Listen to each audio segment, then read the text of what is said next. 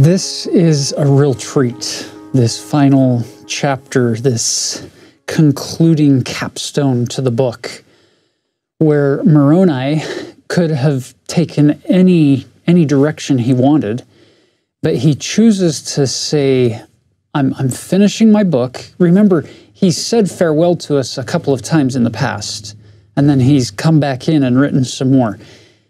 In this one, it feels like he knows this really is the, the final farewell. So he's going to couch his last teachings within the framework of eight exhortations.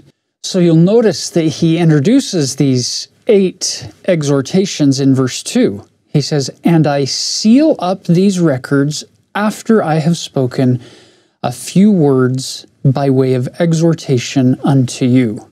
And then he opens verse 3 with, Behold, I would exhort you. And then verse 4 has his second ex- exhortation.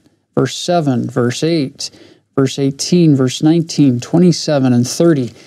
And so we're going to, to work our way through the chapter looking at each, each one of these exhortations one at a time. It's an interesting word. We don't usually use the word exhortation in our language today, at least in the most of the English speaking world. Really fascinating word. So, the core meaning of exhort is to encourage, to stimulate, to urge. And in particular, I like this word, courage, where the word core actually means heart. I want to put heart into your action. And so here he is after this long series of beautiful writings that we've been able to review over the year.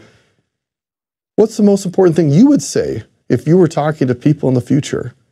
I want you to have a heart. I want you to be, feel encouraged. I want you to be stimulated to go out and act and go do something, to believe. And as we talk through these exhortations that Moroni li- lists for us, just ask yourself, how is he giving me courage? How is he act, asking me to act, to be in step with God, to show my faith by being stimulated and being urged to be focused on the core the heart of what really matters.